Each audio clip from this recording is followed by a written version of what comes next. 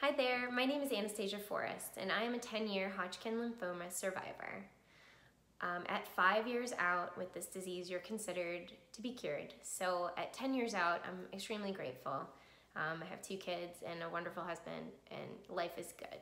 But I've been thinking a lot about how I can contribute or give back to people that are newly diagnosed or going through treatment for this disease.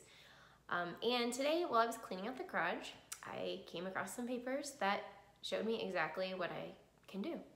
Um, these papers are from literally 10 years ago, July of 2009, and right now we're currently in July of 2019.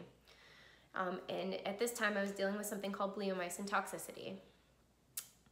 Um, and a little bit of research showed me that this is a very real problem that is still happening um, and causing people to die um, because of a lack of either awareness or a breakdown in communication between doctors and hospitals. Um, so if I didn't have my mom advocate for me the way that she did, and she basically told the hospital what tests to give me, um, I probably may not, I might not be here because uh, undiagnosed bleomycin toxicity leads to pulmonary fibrosis, and that is uh, leads to can lead to death. So guys, I, I feel very strongly about this. Obviously, um, if you are getting treatment for Hodgkin's lymphoma or, um, or another cancer that they are using bleomycin um, in your treatment, um, I want you to be aware of the, first of all, the symptoms of the bleomycin toxicity, um, and also the, the way that you would get this diagnosed um, because it's, it's important. So I'm gonna go ahead and share my story with you. I hope that this is helpful. so basically, you know, your doctors will be asking you, um, do you, are you having any shortness of breath? Are you feeling tightness in your chest? Like they monitor you, you know, as you're going through your chemo. Um, so they would ask me, and you know, the only thing that I remember feeling and saying that I felt was a sort of feeling of lightness in my chest, um, or a feeling of yeah, like a coolness or a lightness in my lungs, you know, and that was didn't really set off any alarm bells because that doesn't sound like a very alarming symptom, right? So anyway, but that's all I experienced at that time. Um, when I was about, oh, three or four treatments away from finishing my whole chemo regimen, um, I came down with a very high fever um, and I was also experiencing shortness of breath such that I would be waking up gasping for air, that kind of thing. So my mom took me to the emergency room. At this time I was 25, yeah, 20, I just turned 25. She, took me to the emergency room. Um, they admitted me. They did many tests. Um, and I was reading my mom's letter that she wrote. They, you know, and I remember it brought back the memories. They did uh, numerous bronchoscopies. I remember getting like two or three of those um, blood gases, um, which is a certain kind of blood test. Um, they were giving me antibiotics uh, through, you know, the IV. Uh, they were doing all this kind of stuff, but I kept getting worse. I was there for I think three or four days, just getting worse. I couldn't, I couldn't walk down the hallway without oxygen. I couldn't go to the bathroom without. I mean, I had to carry the oxygen with me wherever I went. I had to go in the like going to the shower was a, a terrifying experience.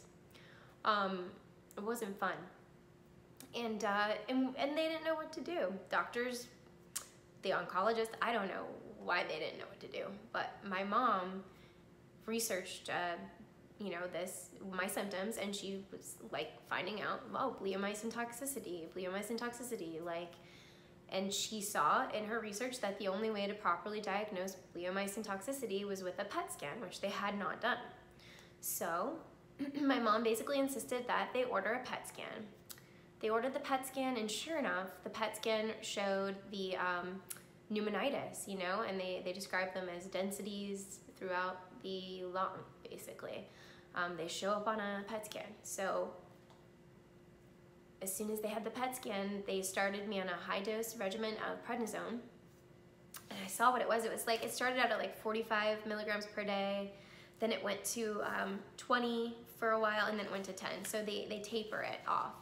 Um, but I began to improve like within, you know, within the day, within as soon as they started the prednisone, my body calmed down from the toxicity. Um, so thank goodness for my mom. I'm really grateful.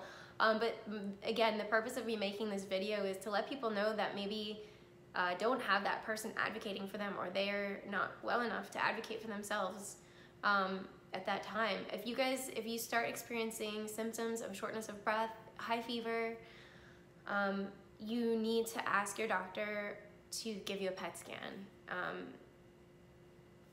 because um, it literally could save your life. So anyway, I'm trying to think if there's anything else to share with you about that. I just, I mean, I was on prednisone for a while.